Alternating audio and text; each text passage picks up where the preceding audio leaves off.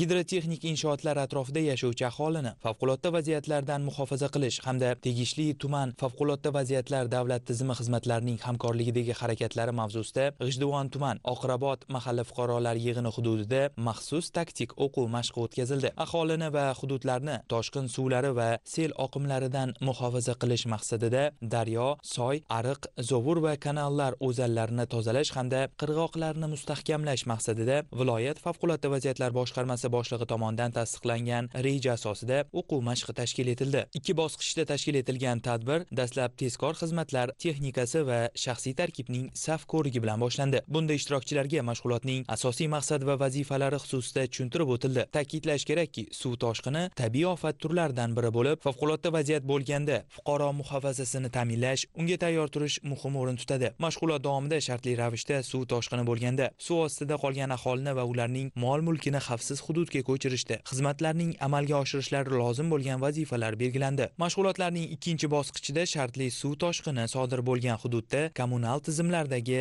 avariyalarni bartaraf qilish ishlari olib borildi. Bunda asosiy e'tibor elektr ta'minotidagi uzilishlarni bartaraf qilish aholini toza ichimlik suvi bilan ta'minlashga qaratildi. Bir vaqtning o'zida shartli suv toshqini haqidagi xabar olingandan so'ng kanalning qirg'oqlari qum tosh va shag'al to'kish xarsang tosh yotqizish orqali mustahkamlash ishlari amalda ko'rsatib berildi. Bunda amu buxoro mashina kanallari boshqarmasi xodimlari uyushqoqlik bilan favqulodda vaziyatlarga tayyorgarlik jarayonlarini namoyish etishdi. Aslida tabiiy ofatlar zilzila suv toshqin kuchli shamollar sodir bo'lganda aholining hayoti va mol mulkini himoya qilishda tegishli soha vakillari qatorida. Fuqarolarning o'zlari ham bilim va ko'nikmalarini oshirib borishlari zarur. O'tkazilgan mashg'ulotlar esa bu borada ahamiyatga ega bo'ldi.